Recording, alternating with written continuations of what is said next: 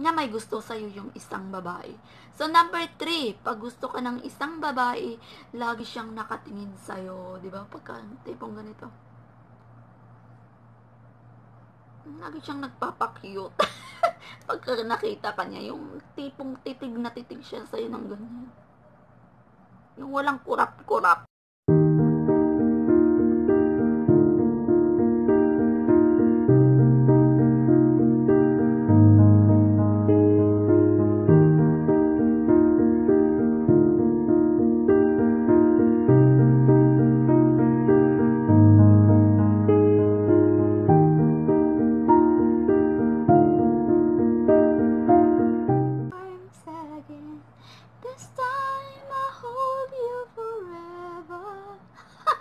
Hello mga kamasyo, welcome back again sa aking channel. At kung bago ka pa lang sa aking channel, please don't forget to subscribe and hit the notification bell para updated ka pa sa iba kong mga video. So today's video, magbibigay ako ng 7 sign kung paano mo ba malalaman na may gusto sa iyo ang isang babae. So mga boys, binibigyan ko na kayo ng idea. Baka naman may napansin na kayo ng ganito. Imanhid pa rin kayo. Manhid. So number one, bibigyan ka niya ng time. Yung tipong ah, pagka bibigyan niyo yung free free time niya sa'yo kahit wala naman kayong pag-uusapan masyado ah, kakausapin ka niya lang yung madami siyang topic na gustong gusto niyang sabihin na out of topic naman. So, isa yan sa sign na gusto ka ng isang babae. So, number two, updated siya sa buhay mo. In short, stalker siya. Ini-stalk niya yung FB mo. Halimbawa, FB mo. Inaalam niya yung favorite mo, favorite colors mo, pagkain na gusto mo, yung mga kulay ng... ah, nabanggit ko na ba? Nakalimutan ko. Nabanggit ko na ba? Yung ah, favorite colors ng ano mo, ng mga damit mo, or inaalam niya yung pangalan ng mama mo, mga kapatid mo, tatay mo. In short, nang i-stalk siya sa buhay mo. O, di ba? Isa yan sa sign na may gusto sa'yo yung isang babae. So, number three, pag gusto ka ng isang babae, lagi siyang nakatingin sa'yo. Di ba? Pagka, tipong ganito. Lagi siyang nagpapakyut. Pagka nakita ka niya, yung tipong titig na titig siya sa'yo ng ganyan. Yung walang kurap-kurap. so, number four, yung makasalubong mo siya, eh, nag-aayos siya ng buhok niya. Yung tipong ganyan. O, di ba?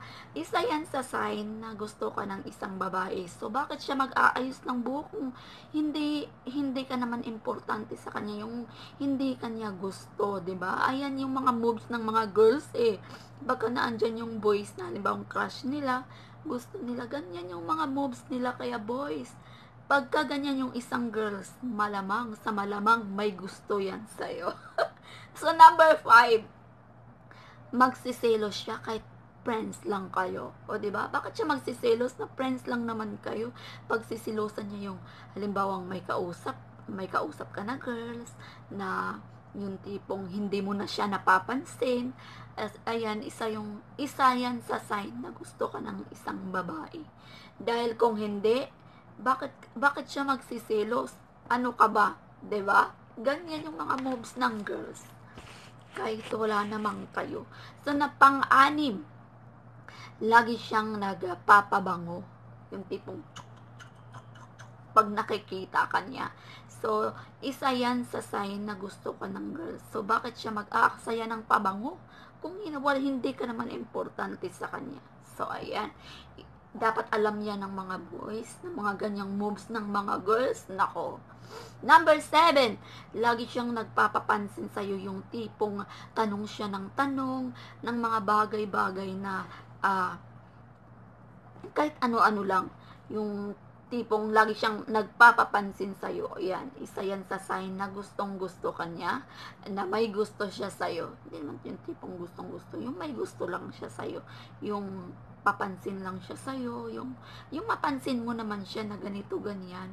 So, di ba Kaya boys, pag may ganyan na simpleng napansin mo sa isang girls, ah, isa yan sa sign na may gusto siya sa'yo.